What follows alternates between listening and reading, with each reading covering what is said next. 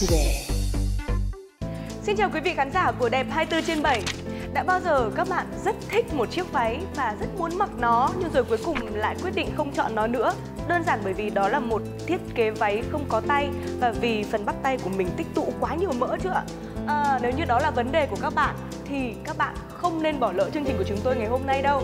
Bởi vì ngày hôm nay Đẹp 24 trên 7 sẽ hướng dẫn các bạn những bài tập để đánh tan vùng mỡ ở phần bắp tay. Và ngay bây giờ hãy cùng chúng tôi bước tới với những bài tập này. Và đây hoàn toàn là những bài tập có thể tự thực hiện ở nhà các bạn nhé. Xin chào các bạn, mình là huấn luyện viên Ngọc Thương. Hôm nay mình sẽ là người đồng hành để đưa đến cho các bạn những bài tập hữu ích nhất.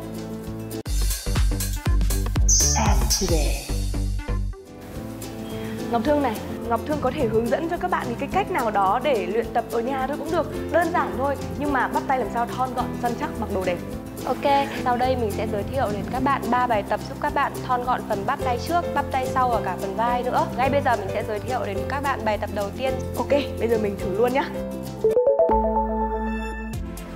Đối với động tác đầu tiên này chúng ta sẽ cần sử dụng hai quả tạ và đối với người mới tập chúng ta nên dùng loại tạ một cân. Chúng ta đứng chân rộng bằng vai, lòng bàn tay ngửa. Sau đó từ từ dùng lực của bắp tay đưa tạ lên và hạ xuống. Lưng thẳng, hơi siết bụng một chút. 4 Các bạn lưu ý là cổ tay của chúng ta lúc nào cũng hướng lên trên. Cố gắng dùng lực của bắp tay, chúng ta cuộn tay lên nhé. 2 1 Đối với động tác này chúng ta nên thực hiện từ 20 đến 25 lần mỗi hiệp và thực hiện 3 hiệp. Mỗi giữa các hiệp chúng ta không nên nghỉ quá 30 giây để có hiệu quả tốt nhất đối với bài tập này nhé.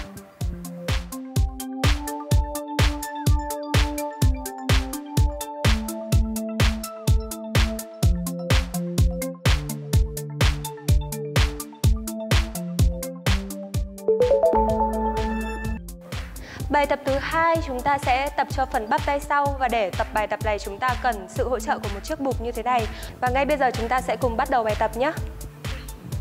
Động tác này vào tư thế chuẩn bị chúng ta để hai tay chống đầy trên bục, chân hơi co gối và chống xuống dưới sàn. Sau đó từ từ trùng tay, hạ thấp người và dùng lực của tay đẩy lên trở về vị trí ban đầu và thực hiện lặp lại liên tục động tác nhé. 2 Chúng ta hơi siết bụng một chút nhé. 5 6 Cố gắng dùng lực của phần bắp tay thôi. 7 Nhớ là khi bắt đầu động tác, chúng ta hít sâu vào siết bụng Lên thở ra. Đối với động tác này, chúng ta nên thực hiện từ 12 đến 16 lần Và thực hiện liên tục 3 hiệp để có tác dụng tốt nhất nhé Hạ thấp trọng tâm xuống, Lưng tay lên nào xếp bụng vào nhé Xuống hít lên thở. Thở ra 2 Tiếp tục nào. 3 Hít sâu lên 4 Bài tập thứ ba, bài tập cuối cùng chúng ta sẽ tập cho phần bắp tay và cả phần vai nữa. Đối với bài tập này chúng ta cần sự hỗ trợ của một chiếc thảm như thế này. Và bây giờ chúng ta sẽ cùng bắt đầu luôn bài tập nhé. Tư thế chuẩn bị chúng ta bắt đầu với động tác chống đẩy, sau đó hạ hoàn toàn phần thân dưới xuống, hai tay sống xuống dưới thảm. Sau đó từ từ khép hạ người, hạ phần thân trên xuống và khép tay chặt áp sát vào người. Và nâng lên. Bụng siết xuống, chúng ta hít vào lên thở ra. Nhớ là tay lúc nào cũng áp sát vào người nhé. 4 Lúc lên chúng ta cố gắng nhấc hoàn toàn phần thân trên lên nhé. 5 Với động tác này chúng ta sẽ cảm giác phần tay sau của chúng ta căng cứng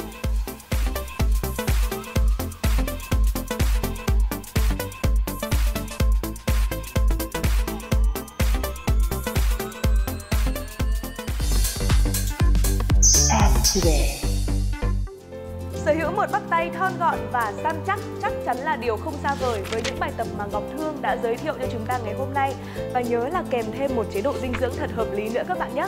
Còn bây giờ thì thời lượng của chương trình cũng đã khép lại rồi. Cảm ơn Ngọc Thương đã hướng dẫn cho chúng ta và cảm ơn quý vị và các bạn đã quan tâm theo dõi chương trình. Xin chào và hẹn gặp lại trong các chương trình đẹp 24 trên 7 lần sau. Hãy cùng chia sẻ những ảnh đẹp nhất của bản thân với chương trình đẹp 24 trên 7 theo đường link dưới đây nhé. Bức ảnh nào đạt được nhiều like nhất sẽ nhận được một phần quà của chương trình. Chi tiết tham khảo trên fanpage của chương trình đẹp 24 trên 7.